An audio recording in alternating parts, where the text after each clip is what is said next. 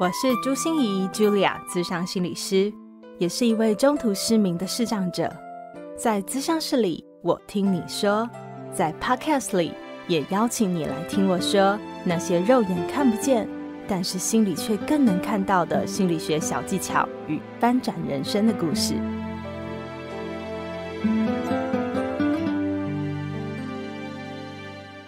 Hello，Hello，亲爱的朋友，你好吗？我是朱心怡，Julia，智商心理师，欢迎收听朱心怡说心里话。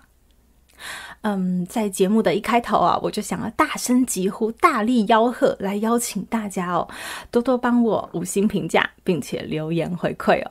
嗯，我想五星评价就不需要多说了，对不对？如果你愿意支持我们，给我们莫大的肯定与鼓励，就是五星评价啦。我们的团队真的会非常开心。那多多留言呢，是因为我想大家都很清楚哦，我做这个节目的初衷就是真的希望自己的一些专业能够帮上大家的忙，能够让你过得更幸福、更自在。嗯，但是我毕竟我的生活圈就这么小嘛，我的生活圈就是我自己遇到的，但是你们的。每一天会经历些什么事情？会有什么样的想法？会有什么样的心得？会有什么样的生活？然后你有一些烦恼吗？有一些困扰吗？我也都非常希望能够听得到哦，因为这样子我才能制作更适合你、更贴近你、更帮上你的忙的节目。也说不定你的分享就可以帮忙更多人，因为他们都可能跟你有类似的困扰嘛。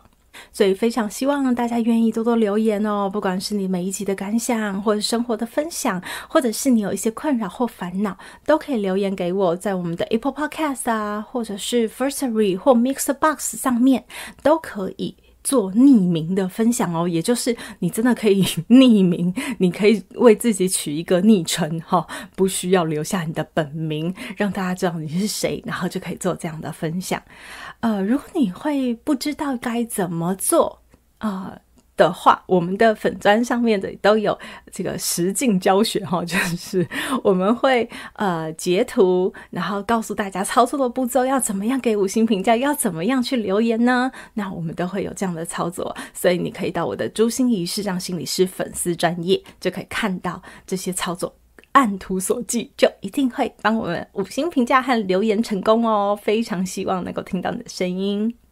那这一次我们要谈些什么样的内容呢？这次的这个主题哈叫做自我对话。为什么我想要谈自我对话？因为我最近真的是不约而同，一直听到某一些声音，哎，我不知道是不是因为大家廉价，就两波廉价嘛。第一波是中秋廉价，对不对？第二波是双十廉价，你过的一切好吗？嗯，那我想廉价真的是，嗯，看起来好像是放假嘛，觉得很心情舒爽，对不对？可是，廉价也的确就是打乱了我们平常的生活节奏、平常的生活步调，所以可能有很多的这个职业会赶着要在这些时候哈大捞一笔，或 者是准备在这个时候呢能够做些什么样的活动，那就会更赶啊。那有可能我们也需要做一些提前的安排、提前的布局，然后在廉假期间，我们可能也需要去安排一些假日的活动或一些家族的聚会。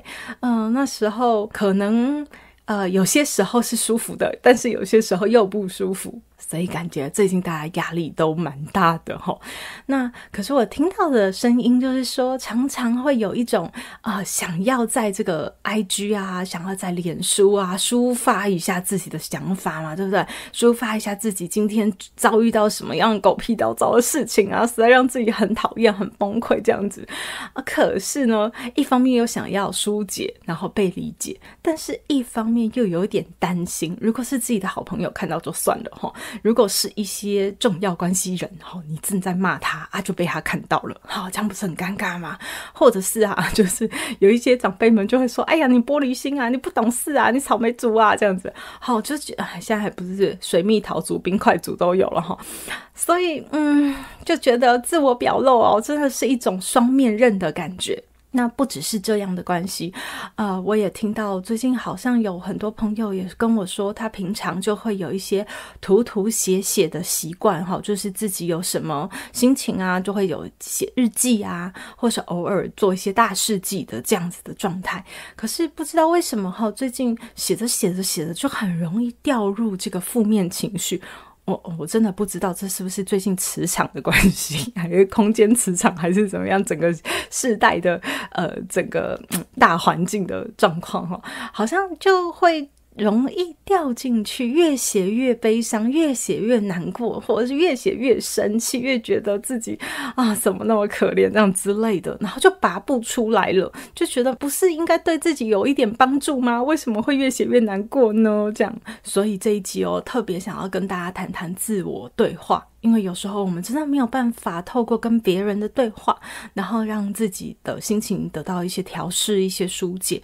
那我们要怎么有建设性而且有帮助的来做自我对话，让你的书写真的能够对自己是有疗效的、有帮助的呢？这就是今天我想要跟大家推荐的一个非常神奇、实用、简单 又嗯很好学。啊，我相信等一下一听你就马上学会的，叫做心理位移书写法。哇，听这个。词有没有就非常专业，叫心理位移书写法。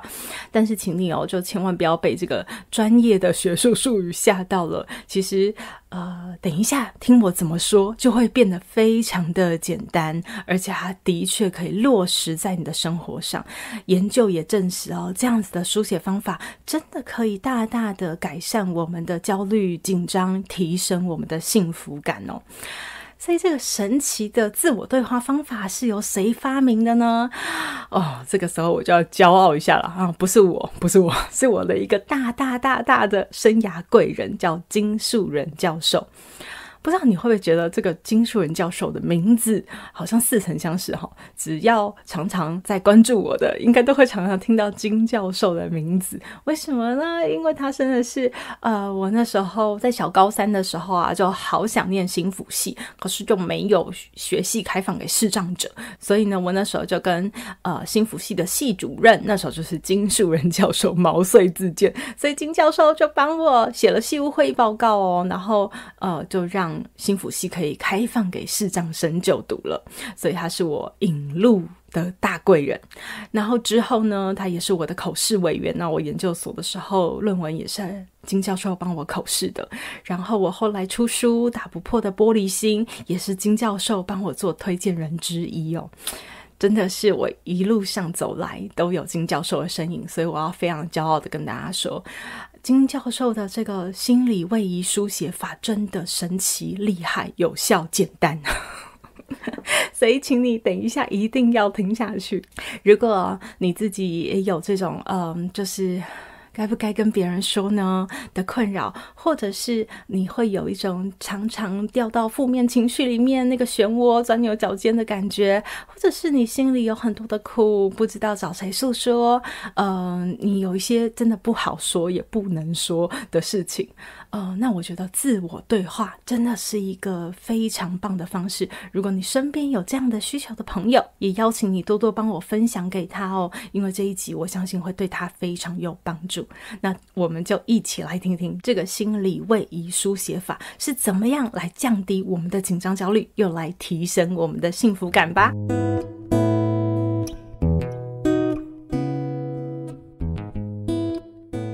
觉得啊，当我们要表达自己的感觉啊、意见啊、想法的时候，会怎么说呢？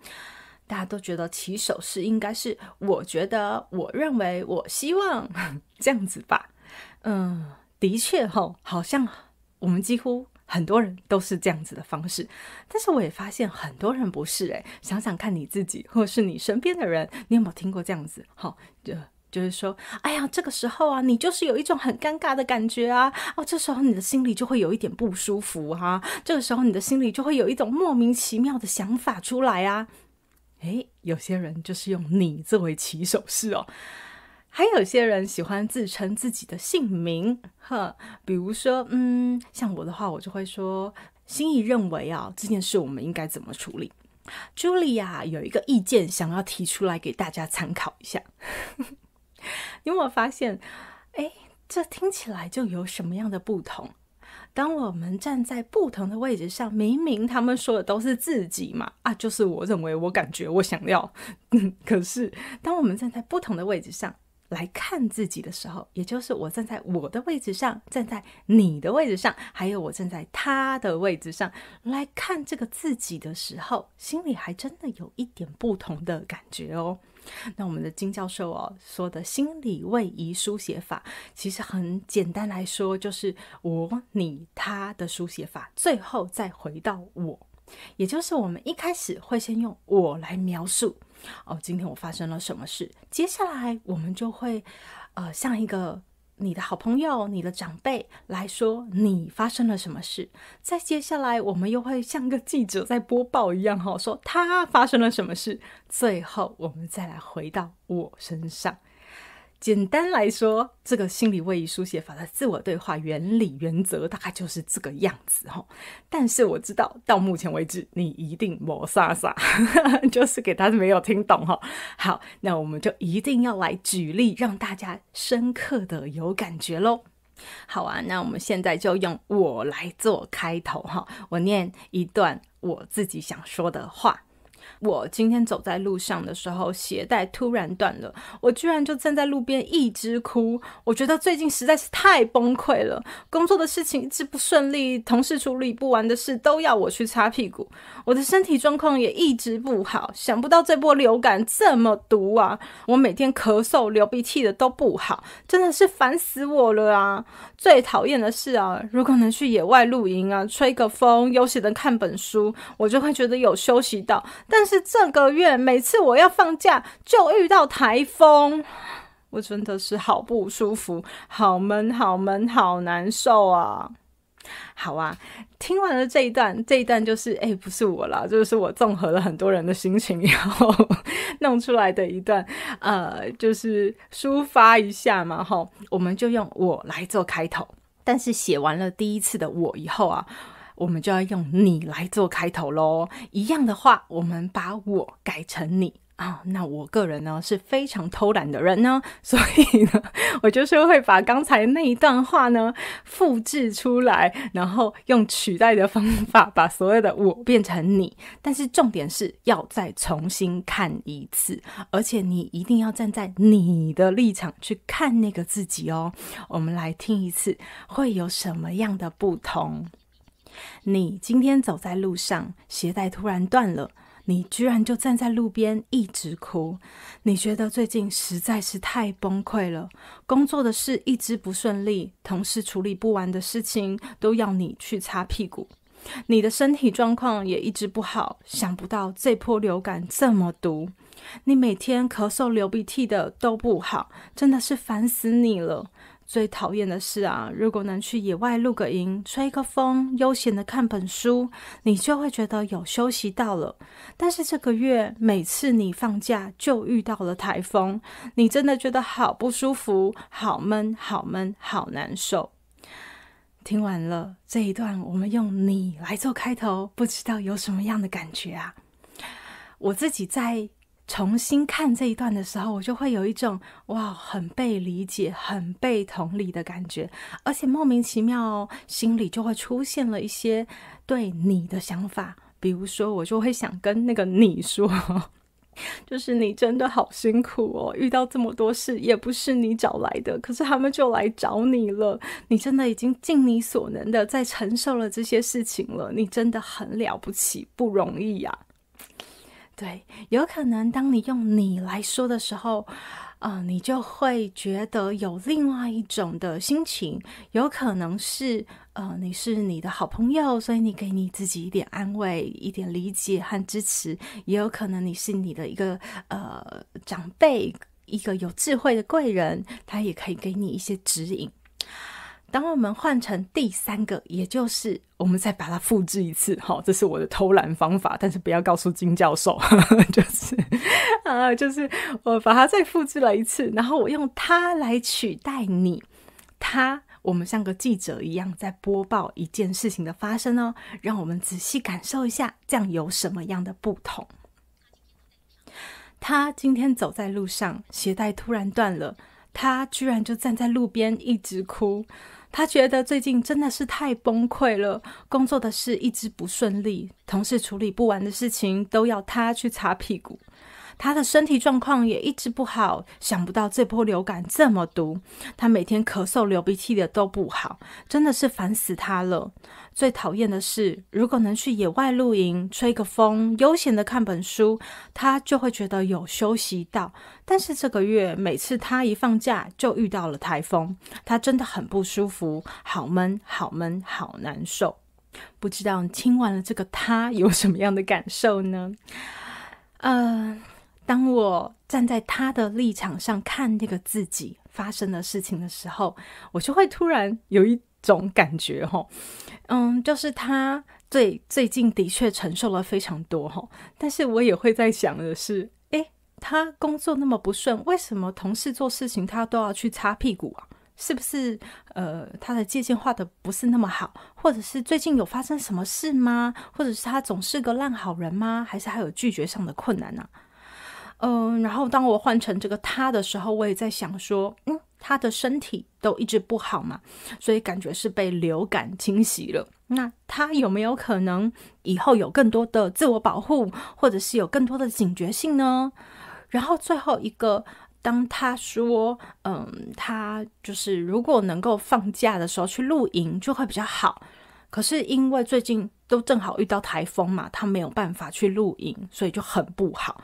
那我就在想说，诶，那他的舒压方式或他的充电方式，是不是只有露营这一样啊？有没有其他事情也有可能带给他一些充电或舒压呢？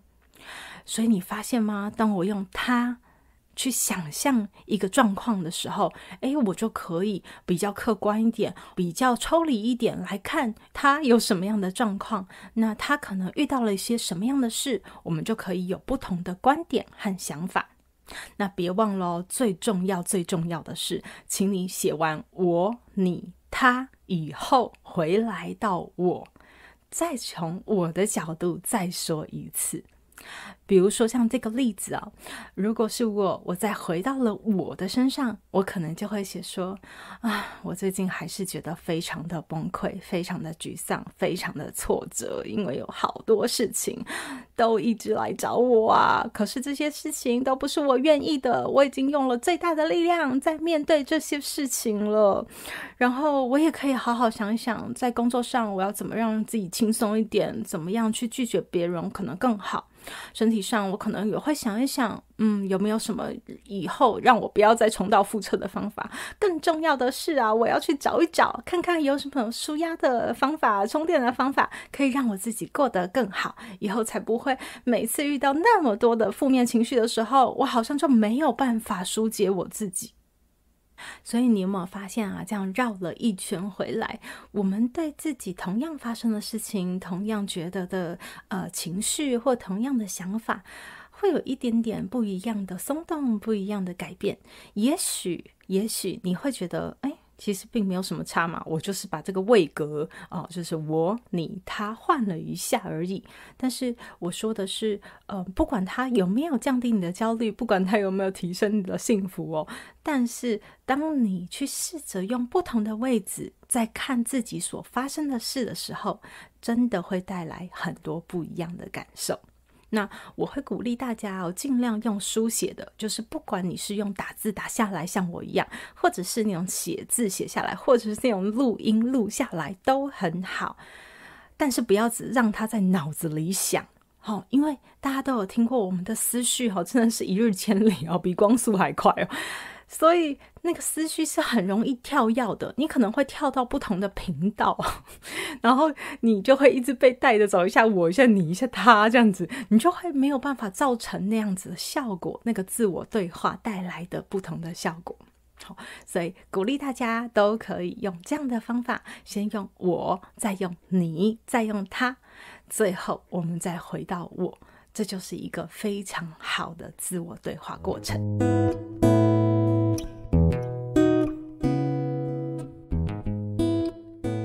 节目的最后一个部分呢，就是要跟大家分享两件事情哦。第一件事情是有关于抽书活动，对我们从心理挖宝这个单元呢，很少办抽书活动哎。对，那这次为什么要办呢？因为我不知道过了中秋节啊，还有国庆，呃，大家会不会觉得就没有什么假日了？呃，对，是没有什么假日了。可是对我有一个很重要的节日啊，叫做十月十五号国际盲人节。不知道你想到盲人会想到什么？呃，有些时候可能我们想到盲人的时候，就会觉得啊，好可怜呢，好悲惨呐，他需要克服好多生活的难关呐。但是我们可能也会有另外一个想法，就是哎呀，盲人是不是生命斗士啊？好厉害啊，好勇敢呐，不屈不挠啊，真的很励志啊，这样子。嗯，我想两个部分都应该存在于我们的身上哈。我们的能与不能，就是嗯，我们的确有很多很不错的地方，但是我们也。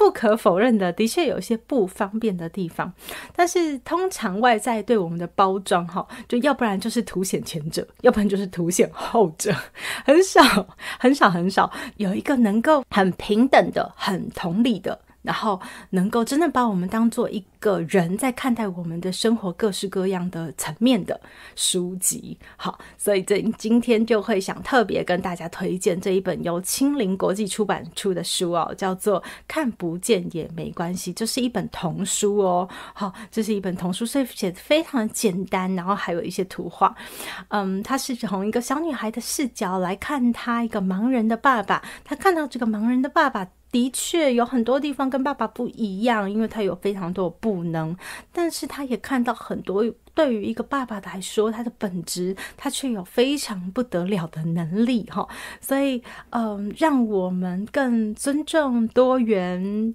更包容啊，我我觉得这些事情哈，就是不只会让我们这个世界更美好，因为现在的思潮和现在的浪潮已经这样，那会让我们的心里也更自在，也更健康。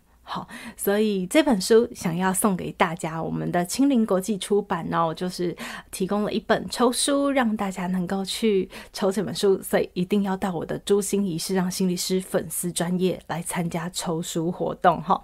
然后我们的青林国际出版也跟我们的爱芒基金会合作，做了一个公益的联合哦，所以你买了一本书，我们就会捐十块给爱盲基金会，然后去服务更多的视障朋友，所以希望大家都可以共。襄盛举这个国际盲人节，第二个就是要回应一下我们听友的留言哦。